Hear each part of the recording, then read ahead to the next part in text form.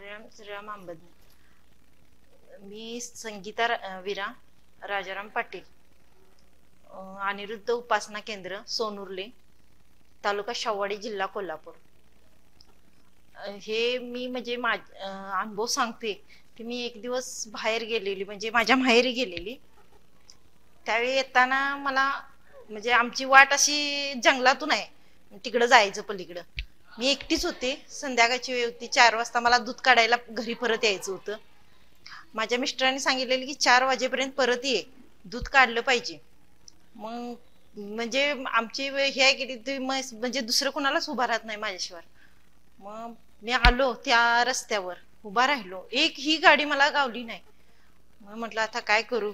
तिथूनच बापूंना नमस्कार केला. बापू मला काहीतरी सापडू दे. दूध एवढं माझं काढायला मी वेळेत गेलो पाहिजे तिथं. असं मी जवळजवळ पंधरा मिनिटं बापूंचं नामस्मरण करत उभं होतं. अचानक एक गाडी आली आणि माझ्या समोरच येऊन उभा राहिली. बा कुणीकडे जाणार? म्हंटल जाणार आहे तिकडं नांदगावला. आणि म्हटलं बस.